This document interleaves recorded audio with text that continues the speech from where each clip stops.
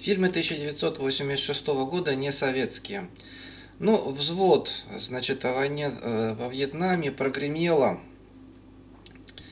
Э, поэтому комментирую, хотя мне не особенно нравится, видимо, потому что я все-таки не военный. Э, значит, посвящено именно, снято ветеранам Вьетнама, который непосредственно принимал участие в военных действиях, соответственно, посвящено сослуживцам. Особенного политического анализа нет, собственно, они перед фактом поставлены, их мобилизовали, они же никаких решений не принимали, там будет война в Вьетнаме или нет. И в основном посвящено внутренней психологии вот группы, то есть взвода, допустим, который воюет. Э, автор, э, сценарист добровольно отправился служить во Вьетнам в сентябре 1967 года. И, собственно, по сути описывает э, вот то, что там реально и происходило. То есть это как пол, полудокументалка, поэтому говорят, что очень реалистично. Но вот я говорю, я не американский значит, солдат, поэтому мне трудно оценить э, по всем параметрам. То есть с моей жизнью пересекается очень мало. Соответственно, мне трудно и сочувствовать, или как-то вообще, или, или ненавидеть, или как-то вообще участвовать психологически в том, что происходит. Ну вот он там, э, значит, говорит, что во взводах этих вьетнамских э, самое главное, что происходит деление на всякие неформальные группы, но в том числе вот знакомые нам э, неформальные отношения между опытными солдатами и новобранцами, но не только. То есть в Америке, конечно, расовый этот самый имеет большое значение компонент, потому что там, ну, вот 200 лет там было сильное разделение по расовому принципу. Ну и другие всякие неформальные группы по другим всяким признакам. И вот эти группы, они помимо того, что значит работа очень грязная, да, и психологически напряжная у солдата, они еще и там группы эти все конфликтуют. Ну, как обычно. Вот я говорю, почему интернет и лучше, потому что группы нет, то есть работаем индивидуально, и это для человека минимально напряжно психологически. То есть э, я Богу благодарен, что бросил эту аспирантуру и не работаю там в вузах в составе каких-то групп, там не являюсь вузовским преподавателем, на кой хер это надо вот в одиночку сидишь и вообще прекрасно. Никакого, блядь, взвода. Я, блядь, ученый или я сержант. Это совершенно разные вещи. Вот индивидуальная работа, она оптимальна, в особенности интеллектуальная, естественно. И э, поэтому я считаю, что я лучше и умнее даже вот этих, которые там группой работают, потому что на них давит групповой психоз, а на меня никогда не давит в моей работе. Я занимаюсь, собственно, вот наукой, а не установлением отношений, блядь, в коллективе, в каком бы то ни было. А, съемки фильма проводились на Филиппинах и 54 дня продолжались. Там еще к моменту прибытия этой съемочной группы военный переворот произошел. Так что вот там поучаствовали немножко еще политики во всех этих делах. Ну, актеры к тому же были не солдаты, поэтому их э, две недели гоняли еще как солдат, чтобы они, так сказать, прониклись. Потому что фильм именно вот такой солдатский, узкий. Я думаю, что вот военные там, даже наши, лучше его посмотрят, лучше какие-то смыслы найдут, чем я, потому что мне это довольно все чуждо, честно говоря. То есть мне чуждо даже э, там работать с двумя-тремя людьми там совместно. А тут э, экстремальная ситуация, когда их выживание зависит именно от выживания коллектива, да. Поэтому да. Ну, э, значит, э, считается, что американские фильмы о Вьетнамской войне обычно все индивидуальны в связи с вот их менталитетом, да, а тут показан коллектив, и поэтому то считается новаторской, что показана именно роль коллектива, которая, которую нельзя избежать даже в Америке с ее индивидуалистической культурой, все равно социальная психология, конечно, есть, особенно в такой ситуации, да. Поэтому вот эти все всякие психологические аспекты считаются в этом фильме выигрышные. И социальные психологи часто, кстати, примеры приводят из фильма «Взвод», когда начинают иллюстрировать разные свои концепции. Ну, в принципе, там есть, э, тем не менее, матрица-то эта христианская все равно накладывается. Там есть, да, один сержант типа хороший, э, там за человечность выступает по отношению там, и к подчиненным, и к жителям мирным. Другой как бы плохой и считает, что вот война это чистое насилие. То есть э, христианская модель о противостоянии добра и зла все равно на этот реализм накладывается. То, что э, все равно матрица, она работает, да? В какой культуре ты принадлежишь. В общем-то, режиссер тоже говорил, что он изображает идеализм против реализма. То есть, как бы, злой получается в этой ситуации более реалистичный, потому что война вообще дело злое, да? А добрый получается идеалистичный, но он тоже есть как бы. Все равно нельзя из человека полностью ни добро, ни зло вытравить, это понятно. Смешанный мир. Ну и э, там внутри фильма тоже очень много христианских аллегорий. То есть, несмотря на вот эту всю дикую ситуацию, да, война в чужой стране, непонятно за что, э, несмотря на то, что модерн, то есть давно уже кризис всех религиозных ценностей, по сути никто не верит в религию, все равно это христианский фильм с христианской символикой и внутренней христианской идеи. Понятно, что все, все равно от э, каких-то базовых моментов европейской культуры никуда и не ушли. Ну, там также есть намеки, естественно, на греко-римскую, которая тоже важный компонент, Илиада там есть. Ну и, собственно, на американскую культуру типа Моби Дика. До Моби Дика скоро дойду, кстати. Ну, критика в основном американская отмечала реалистичность. А дальше они уже интерпретировали в зависимости от их отношения к вьетнамской войне, оно у них там разное было. То есть, естественно, для них это все больно и вызывало дискуссии и политические. Этот фильм поэтому значимый, и для 86 -го года в особенности. Звездный путь 4 Дорога домой, четвертая серия Звездного пути, они все достаточно интеллектуальны, поэтому комментирую. Тем более Звездный путь 4 это они спасают китов. То есть они там попадают в свое прошлое, в, конец 20 века, то есть в наше время, они живут все в 23 веке. И пытаются спасти китов, потому что в 23 веке киты вымерли. А, ну, э, критиковали э, за то, что э, предыдущие серии Звездного пути были довольно мрачные, а эту серию решили сделать все-таки оптимистичную, китов спасли. Ну, тоже довольно спорили, там было много комедийных всяких диалогов, а тема, в общем-то, серьезная, экология, вот это вызывало определенные споры вокруг этого фильма. Ну, хороший фильм. Звездный путь я вообще позитивно оцениваю. Фантастика с определенной нагрузкой философской, ну вот это близко нашим всем Стругацким, это близко той фантастике, которую в России любят. Дело в том, что в США очень много коммерческой дурной фантастики, которая просто эксплуатирует там какие-нибудь низменные инстинкты, а фантастика, так сказать, просто прилагается для интереса. А, но интеллектуальное там тоже есть, вот то, что мы понимаем под э, интеллектуальной фантастикой. Конечно, есть в Штатах, мы все это читали, да. Там Айзек Азимов и все такое. И фильмы тоже так и делятся. Там есть фантастика с интеллектуальной нагрузкой, а есть просто дурная. Ну, вот этот э, звездный путь, конечно, это с нагрузкой.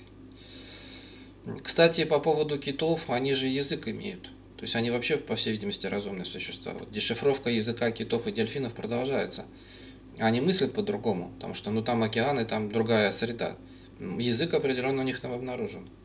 Их, им бы пора дать статус разумных существ, вот дельфинам и китам. Э, обезьян обучали языку, и они где-то так 150 э, слов выжимают обезьяны. То есть до трехлетнего ребенка она дотягивает. Ну, может быть, не полностью, она не полностью, конечно, разумная. Дети у нас все-таки не имеют полной дееспособности, да. Какие-то права разумных существ явно надо давать, потому что, ну, может она обучиться языку шимпанзе. Демонстрирует она при этом какие-то вот, ну, примитивные, но все равно э, установки, связанные с самосознанием. Она себя, допустим, отделяет от других обезьян по тому признаку, что языку обучилась и так далее. Ну, в общем, я должен всю биологию тут изложить. И насчет языка других млекопитающих я эти темы буду особенно продвигать и отдельные клипы, видимо, делать. Вот язык пчел скоро предстоит, между прочим.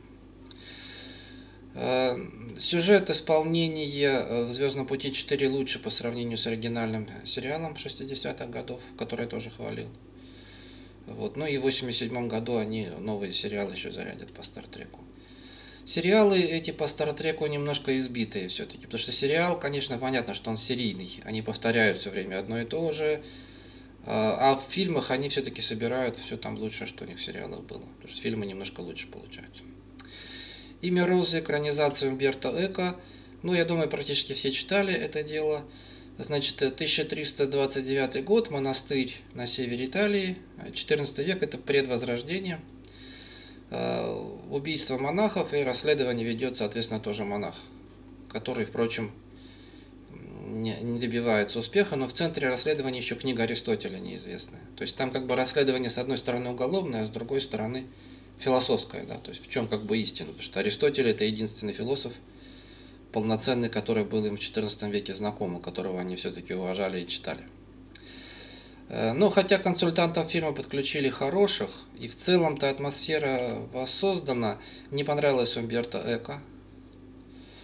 Э, кинокритики ругали, что сценарий лишен логичности. Ну, э, сценарий просто взяли сюжет из Эко. Эко же постмодернист, поэтому он намеренно лишает логичности. Однако же, как бы в кино это не прокатило. Надо было что-то там сделать киношное, они не сделали. И на главную роль назначили того, который играл Джеймса Бонда. Это немножко тоже накладывает. Э, Умберто Эко не понравилось в такой степени, что он э, Стэнли Кубрику запретил делать экранизацию «Маятника Фуко», хотя «Маятник Фуко» хорошая, и «Маятник Фуко» уже про модерн, и зря не экранизировали. Ну, вот так вот получилось. Акунин на самом деле подражатель все-таки Умберто Эко. Вот я э, ценю Акунина, так сказать, все-таки это лучшее что-то из нашей культуры. Я про Акунина много болтаю в хроникальной части канала, в смысле вот в новостях все время Акунина что-то там читаю и рассказываю. Ну, хорошая экранизация Азазель. Акунина я всего прочитал, поэтому перестал болтать, жду, пока он что-нибудь еще выпустит.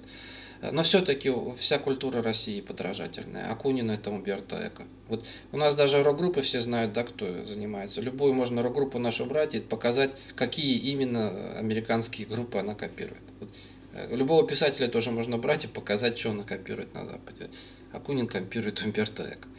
То есть пишет исторические детективы с какой-то определенной философской или политической нагрузкой, а поскольку Россия пишет в основном с политической. Так у нас вот, типично русское это все объяснять через власть. Кстати, я говорю, почему наши русские либералы не настоящие, не западные, не европейские. А это точно тоже люди полностью центрированы на вопросах власти. Вот он там русских ругает, что-то там из себя строит, да, а он такой же, блядь, потому что для него в мире существуют только отношения вот вертикальные.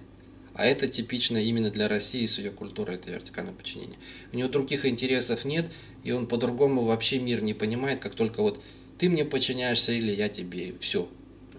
А это значит, он до мозга костей русский, все пиздец. Это, и неисправимо это. Что у него каких-то других горизонтальных интересов нет. Вот у полноценного человека, да, есть много интересов помимо, так сказать, политики. А русский политик, все, он центрируется на том, что вот только власть, и все. И потерянный человек для общества, блядь, и для Бога, и, и ничего не сделает. Поэтому и в политике тоже. Ну ладно. Э, хорошо показано, тем не менее, средневековье. Хоть не нравится Умберто Эко, мне нравится. Э, там адекватно средневековая среда. Вот эта вся философия, она ведется людьми в грязной такой одежде, которые медленно двигаются, медленно разговаривают, потому что это аграрное общество. Это деревня, там все неспешно, посадили, ждем, пока вырастет. Торопиться некуда. Если есть какая-то работа, она тупая. Идти окучивать картошку вот так вот тяпкой ба-ба-ба, блядь, 6 часов нахуй, ба-ба-ба. То есть у них какая-то работа, если есть, она однообразная и какой-то эффект им ждать долго. Это далеко не работа рабочего на заводе, который должен быстро реагировать, как-то там сложно эту токарную деталь обтачивать. Это другое. Эти вообще, так сказать, не работают на поле монахии, эти еще тупее. Ну, в, том плане, что у них работы вообще такой нет, которая требует постоянного вот участия головного мозга, да. Эти еще медленнее религия на них давит таким образом, что они вообще думать не должны, должны воспроизводить да, какую-то информацию. По сути, вот они все деревенские. У них самые большие города размером с наши райцентры. Там, ну, может быть, 50 тысяч он вытянет, это у них уже громадный город считается, да. Э, миллионников никаких нет. Самый большой город на тот момент Константинополь, 300 тысяч жителей. Ну, то есть 300 тысяч жителей это Э, ну, средний российский город, областной центр, может быть 300 тысяч, но считается уже небольшой город все-таки, да. Симферополь 300 тысяч. Но это вот для них самый такой гигантский. Константин. Они его никогда не видели, эти итальянцы. У них, если город есть, то очень маленький. А большинство жителей живет в деревне. Ну, 90% большинство это почти все деревни живут. А эти монахи, к тому же, они по, по сути в общаге всю жизнь жили. То есть вот этот монастырь, 50-100 человек, общага. Вот я говорю, что то есть у них на самом деле, когда они начинают какое-то философствование, да, мозг-то по-другому же работает. Даже для того, чтобы обобщать что-то, так вообще говорить. У человека в коллективе мозг работает одним способом, а когда он индивидуально, допустим, сидит другим способом. Вот поэтому вот, вот это все, кстати, и показано. То есть какая, собственно, психологическая эта среда рождает вот это философство средневековое схоластическое. И она совсем другая, поэтому нельзя тащить в наше время средневековую схоластику. Они вообще по-другому жили, так если попроще, да. Поэтому и на жизни они смотрели по-другому. Если в наше время перемещать, шизофрения получится. Нам нужно думать осмысливать наше время, а не их время, не пользоваться их готовыми решениями. Вот почему я сторонник прогресса все-таки, это более логично. Э, к тому же, вот эти монахи, самые умные вообще-то в этом мире, читали они книг 10 за свою жизнь. Понимаете? А мы читали, даже самые глупые из нас читали тысячи книг, да? А, один из самых умных из нас это я. я читал миллионы книг на десятках языков, да. Вот, поэтому я говорю, ну, ну, понятно, что это разное мышление, да. Вот я читал миллионы книг, и человек читал 10 книг. И всю жизнь, так сказать, сельским хозяйством занимался или вообще нихуя не делал. Песни пел. Ну вот. А там есть собрание в 300 книг в этом монастыре, и это одна из крупнейших библиотек в Италии. 300 книг – одна из крупнейших библиотек. А, то есть, ну, у нас не тянет даже на школьную библиотеку это все. Явно там больше 300 книг. Вот, поэтому мы имеем такое вот узкое ограниченное мышление, и вещи, которые совершенно безумные, нам кажутся, им кажутся обычными совершенно. То есть вот нам кажется, какой-то идиотизм несет, а вот для них это нормально, потому что он только 10 книжек прочитал. А он в других книжках не читал, что это идиотизм. А, вот. Ну, э, кроме того, но тем не менее показано, что есть и инакомыслие, там есть остатки манихеев, которые, значит, дальчане. С манихеи уже где-то лет так 200 с этой церкви воюют, и там их остатки есть, в монастыре даже есть агентура, это исторически достоверно. То есть, несмотря вот на все на это, в этом мире определенное развитие есть, хотя бы вот в виде этих э, радикальных ересей, которые всю систему отрицают. Отрицание системы, тем не менее, у человека есть. Даже вот в таком тупом состоянии все равно, то есть бунт есть, и он показан там. А, главный герой, в общем-то, хороший. Вот несмотря на все на это, что я описывал, он, в общем-то, заразу. И он сторонник именно рационализма Аристотеля. Вот хоть он там и монах католический, все такое, все это хороший человек, но в то время, понятно, что в то время, ну, хороший, он там стремится действительно к э, рациональному осмыслению действительности. Ищет книгу, книга для него ценна, да. Но он не справляется же. Книгу не нашел же он. Библиотека сгорела. То есть вот такие люди все-таки свою миссию в эти средние века не могли выполнить. Он там дискутирует с этими мракобесами, и видно, что мракобес-то побеждает. Герой-то наш умный, насколько в то время возможно. Но вокруг-то дураки, и ничего сделать он не может. Сгорели его книги. Следствие-то провалилось, так скажем. Ну и там еще сама атмосфера такая в этом фильме. Зима переходит в весну. То есть вот предвозрождение, да, то есть хотя вот все так плохо, но вот эта зима безумия, она кончается, весна наступает. Можно сравнить с нашим временем, когда тоже вот зима э, войны, зима путинизма страшного, псевдоконсервативного, она кончается. И все-таки вот как, хоть какой-то март, вот сейчас март, да, вот что-то вот такое все-таки в воздухе есть, я думаю, надеюсь, что добро-то победит и разум рано или поздно. И это в фильме тоже есть, и поэтому, да, с, нами, с нами пересекается. Мы тоже в этой деревне живем, на самом деле, интеллектуально, всем обществом. Рамаяна, индийский сериал по эпосу их э, Рамаяна. Э, они снимали именно 80-е всю свою Махабхарату и Рамаяну тоже, и смотрели все Индии, было очень популярно. Э, есть черты явные телеспектакля. Вот у нас тоже были телеспектакли по нашей классике в СССР, да, но, конечно, индусы это с размахом, это много-много серий, это все-все-все смотрят, потому что это у них же, так сказать, святое писание. Индусы, конечно, долго это делают, этот телесериал. Э, Рамаяна книга религиозная, хотя сюжета там тоже много, и э, они те, пытаются и то, и другое сократить. Конечно, в смысле от, отразить, да? То есть они сокращают, я про что хочу сказать, сокращают они, конечно. Нельзя, это, она очень большая, полностью дословно нельзя, но то, что они сделали, отражает хотя бы пропорции текста. То есть вот в тексте, помимо сюжета, очень много отступлений и всяких нравоучений. Это все сохраняется, насколько возможно для кино. То есть там идет, идет сюжет, потом персонаж встает, и хуячит речь о том, как жить надо, блядь. Минут так, не знаю, 10, блядь. Потом опять минут 10 сюжет, встает персонаж и какую-нибудь философскую бредятину отхуячит на, на 10 минут тоже. Это соответствует пропорциям исходного текста. То есть ребята это в принципе делают, как там написано, то есть они пытаются отразить действительно текст. Но в кино смотрится странно, да. К тому же э, наложена вся типичная для индусов сентиментальность. То есть все постоянно плачут, высокопарно выражаются, там жесты всяческие делают такие, блядь, ненормальные, да. Э, вот. Вероятно, я говорю, вот если бы я был индусом, вероятно, для меня бы это напоминало какой-нибудь марксизм-ленинизм, да. Вот э, этот, пионерскую линейку, так скажем, когда вот там именно вот пафосно говорят какие-то красивые слова, всем давно известные, сюжета-то особенного нет, ничего не происходит, да. То есть советскую школу это напоминает. Когда вот вроде как сначала что-то так изучали, изучали содержательное, да, а потом хуяк, и все 10 минут слушаем очередной бред про любимую компартию. Ну, как-то вот так. Ну, в э, СССР это все в 80-е уже сильно разбавлялось юмором. Вот если любой советский фильм посмотреть, да, там даже есть это нравоучение, если. Оно всегда там как-то иронизируется, там как-то вот так вот улыбнуться, что-нибудь там все-таки человеческое скажут, потому что всех уже заебало это все. Но вот у индусов этого нет, и выглядит вот с моей точки зрения советского циника, выглядит пафосно, да, то есть они вот это все заряжают и когда даже не смягчают, даже там потом в конце не пошутят ничего. Вот она что-нибудь там встала, рассказала, как должна себя женщина вести, и, так сказать, рукой махнула и пошла. А вот, ничего там даже не, не пошутила. Э, ну, конечно, как гностик я негативно отношусь к индуизму, и это на мое восприятие влияет. Потому что, ну, боги в этих мерзких телах э, вонючих обезьян типа нас воплощаться, конечно, не могут. Боги это слова, числа, вот это все воплощение богов, да боги, как, боги какой-то там половой активностью занимаются, там что-то там ебутся боги. Ну давайте еще боги в мандавошек воплотятся, и мы будем смотреть кино, как мандавошки ебутся и произносят изречения, потому что они, блядь, боги. Ну, примерно вот так же аналогично. То есть божество, конечно, оно идеально, и оно в материальном мире воплощаться не может. Но, тем не менее, конечно, все равно же индуизм отражает какой-то, так сказать, опыт человечества, это тоже интересно. То есть, да.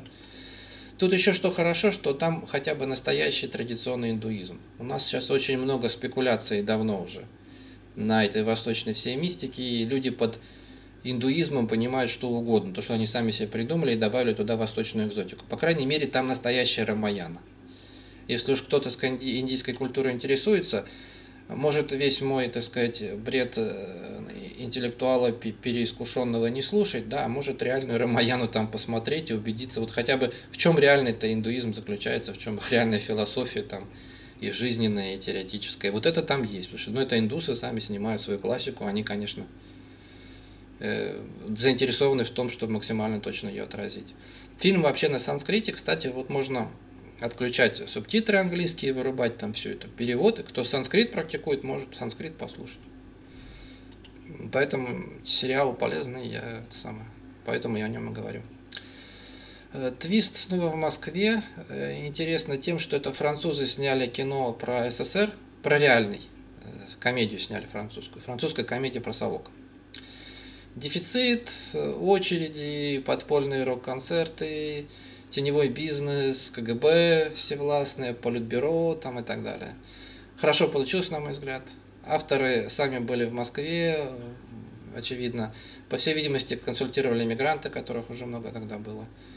Вот бытовые детали, обычное поведение советских граждан, я подтверждаю, что примерно такое. Ну, понятно, что оно утрировано, это французская комедия, да? Но видно, что в основе то, как реально все происходило, да, так, так вот себя вели примерно. Э, там есть одна из героинь рок-певица, подражает Агузарова явно по поведению. Видимо, вот пытались еще Агузарова изобразить. По времени локализовано 84 год. Э, висят плакаты там именно с Черненко. Видимо, сценарий 84 года писали. 86 все-таки уже перестройка. А вот там, да, КГБ э, чистит все Андроповская, вся эта политика Черненко ее просто продолжил, и плакаты везде висят, Черненко, Черненко. На самом деле в 1986 году уже критиковали открыто многие недостатки, показанные в фильмах. Вот там про очереди и все такое, это там уже критиковалось активно 1986 год.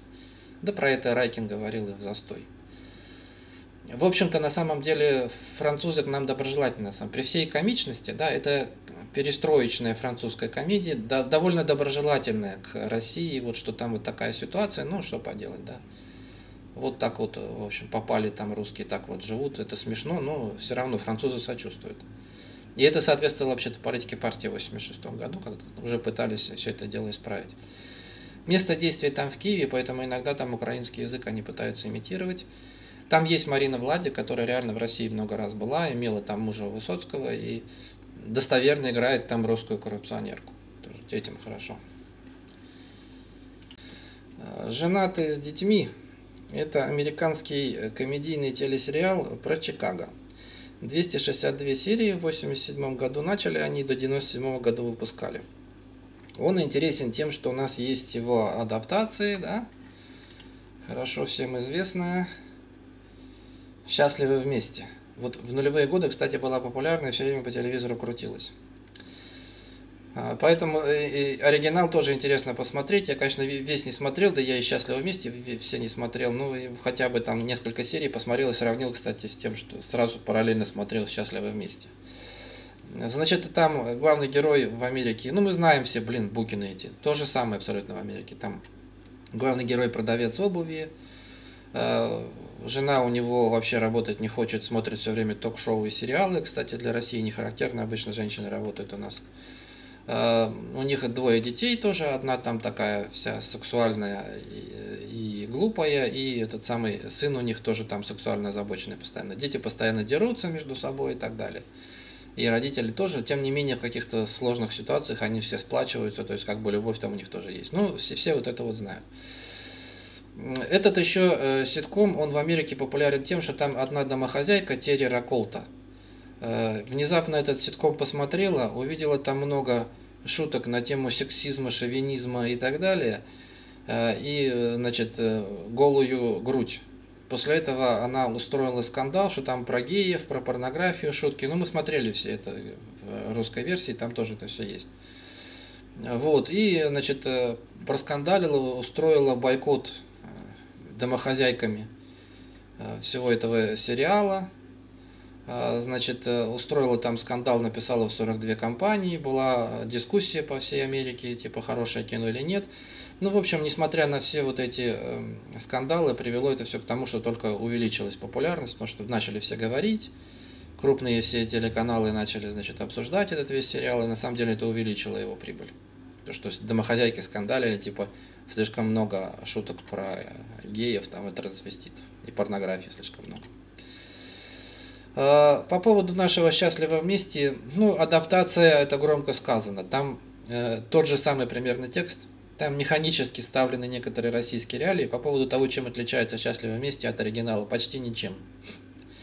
Ну и это, кстати, вызывает совершенную там дикость. Потому что ну, у нас многих реалий нет. У нас, допустим, бедные эти, блин, продавцы обуви не ходят в стрип-клубы. А вот там в Америке это есть. Ну и там прочие всякие реалии американские, которые довольно грубо переданы российскими.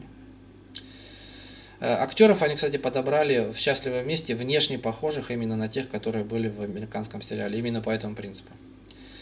Э, Света Букина в США даже была красивее.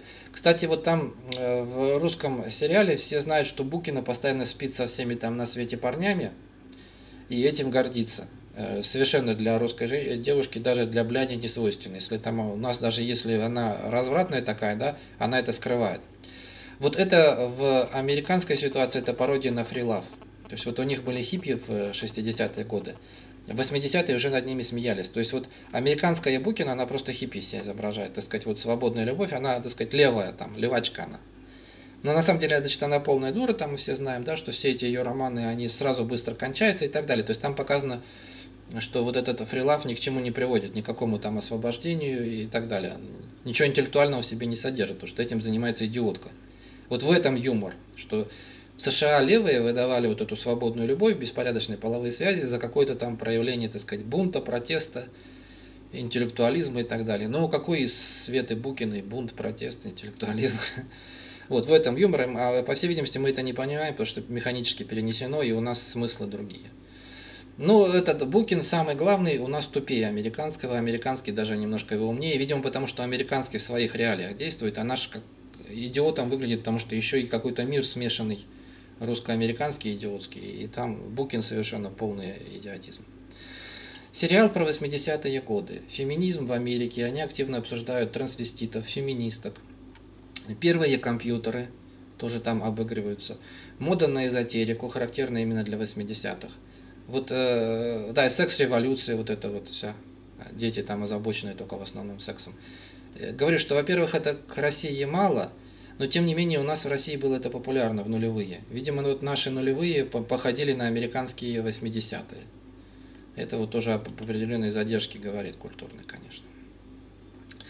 Фильм «Расследование или дело на Назаритянина» католический, но интересный. э, итальянский. Значит, там э, про Христа, но по-другому показано. Показано как политический детектив. То есть вот императору докладывают, что исчез э, казненный политический э, деятель, тело исчезло. Ну, воскрес же, да? И он посылает официальное следствие э, своего советника Тауруса выяснять, по какой причине пропал труп. Но понятно, что тот не может выяснить, так как Христос воскрес. Политический детектив получился. Я думаю, что на самом деле религиозники не заинтересованы в таком вот. То есть там это все как в реальной жизни показано и интересно показано. Это фильм стимулирует к тому, чтобы разбираться в этой ситуации, а, связанной с Христом, а попы в этом не заинтересованы. Думаю, что все-таки это со стороны интеллектуалов фильм на эту тему, хотя он, да, в общем-то, католический, там никаких нет отступлений от догматики, но показано как вот живая ситуация какая-то. Там, кстати, отражена и гностическая версия. То есть говорили, что, вероятно, его вообще не было. Что это, вероятно, просто символ, так сказать, интеллектуальный. Кого-то распяли, так сказать, но это, это было просто тело. Вот, кстати, гностическая позиция, заявленная у апостола Павла, что нам не важно, что происходило с телом, потому что тело говно. Важно то, что было, происходило с идеей, а идея совершенно очевидно не погибла после того, как кого-то распяли. В общем-то, Павел что-то похожее говорит, и близко к этому говорили гностики, о том, что тело все равно только кажется. Эта идея там есть, хотя в основном я говорю, что описано все католически и без учета того, что мы сейчас знаем во всей полноте, что там все, все было гораздо сложнее, там было множество всяческих сект, помимо официального иудаизма, и Христос действовал не в контексте того иудаизма, который придумали католики, а в контексте какой-то более реальной ситуации с десятками интерпретаций, там, из которых потом и Каббала возникла, и все это все прочее, и Мандеи, там, и все такое. Там был некий более сложный интеллектуальный контекст, в котором и надо понимать изречения Христа, Павла, контекст, допустим, греческой философии и так далее. Церковники все контексты выбрасывают, оставляют только свою схему, и тем самым ни черта там не понимают даже в, в том, что они имеют в виде Евангелия. Ну ладно, это моя ремарка, а фильм интересный и э, можно посмотреть. Анастасия тоже, мне кажется, довольно интересная. Это все тоже про то, что Анастасия нашлась. То есть это, по сути, про историю Анны Андерсон. В 26 году, э, видимо, я еще по историческим хроникам расскажу, явилась, значит, э, некая девушка, которая заявила, что она спасенная великая княжна Анастасия. То есть вот э, семью российского императора Николая II расстреляли, а она выжила. Вот что она рассказывала. И, соответственно, боролась она за признание своих прав. А, фильм основан на реальной истории, то есть суть вся передана примерно как она, хотя ряд реальных обстоятельств там значит, искажен. Был фильм 50-х, Э, с Ингрид Бергман, которая хорошо играла. Я уже рассказывал про него. Э, здесь это все еще более так развернуто, больше фильм, больше все показано. На самом деле история странная. Связанная с чем? Эту Анну Андерсон официально сейчас в Википедии везде объявили какой-то там Франческой польской, то есть утверждают, что она авантюристка. А по какой причине ее признавали аристократы Европы? Дело в том, что эта Анна Андерсон все время судилась за признание того, что она Анастасия Романова а ее кормили все это время. Вот когда она объявилась, что она Анастасия, ее сразу поддержали аристократы Европы различные. Она потом никогда не работала, она все время жила на те деньги, которые ей аристократы накидали. И судилась с дорогими адвокатами, с этими Романовыми. Если бы это была какая-то польская дура, как это сейчас утверждают, я, я не верю, что тут аристократы Европы, почему ее начали признавать-то? А тем более они все время ездили в этот Петербург, они знали эту реальную Настю, разоблачить, реальная Настя или нет, там были реальные знакомые этой Анастасии. Разобраться, так сказать, кто перед ними, они вполне могли, они ее знали лично. Лет прошло там 8, с тех пор, как они ее знали. А то, что Романовы не признавали, это понятно. А это не в их интересах было. Во-первых, она наследница престола, они там уже это вели, как раз 20-е они бурные вели бои за то, кто наследник престола. По крайней мере, это позволяло возглавлять эмиграцию хотя бы определенные круги, да. Во-вторых, там деньги. Вот этот же Николай это деньги размещал за границей, она получилась бы наследница. Судились-то они из-за денег из нее. Ну, вот они ее объявили какой-то, значит, э, сумасшедшей полячкой с э, военной фабрики французской. Ну, невероятно, что вот эта полячка, она имитировала бы русскую аристократку так, что ей верили прям там массово и деньги ей давали. Ее же аристократы эти содержали, и там многие в нее верили. Э, анализы ДНК провели современные, и якобы по результатам анализов ДНК она не Романова. Ну, знаете, знаем мы эти анализы.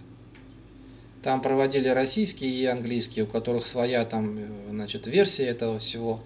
Поэтому тут я в эти анализы не верю, между прочим. Потому что я знаю, как у нас подделывают все на свете. Участие там российских ученых, это вообще означает, что точно подделывают. Российские ученые занимаются преимущественно фальсификациями во всех сферах.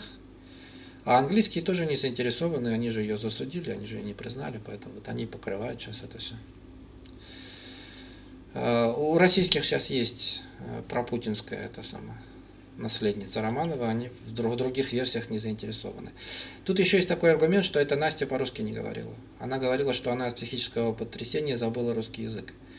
Э, ну, это да, походит на мошенницу. Но все-таки, если, допустим, утверждается, что ее готовили, потому что вот эта э, Андерсон, да, она знала э, всякие подробности про Романовых. Если ее кто-то готовил как мошенницу, эту Фран Франциску, как они утверждают, она могла выучить русский. Для поляков несложно. Но все же знают, что у нас Пьеха без акцента по-русски пела и говорила, да, на полячка.